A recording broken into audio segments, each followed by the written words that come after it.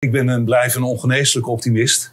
Dus ik denk dat uiteindelijk er wel een moment komt dat de zaken weer wat stabieler worden. En ik heb altijd het gevoel dat markten met name op een enorme manier in het positieve, maar ook in het negatieve overdrijven. En ik hoop dat we de bodem heel snel zien en we dan uh, verder kunnen.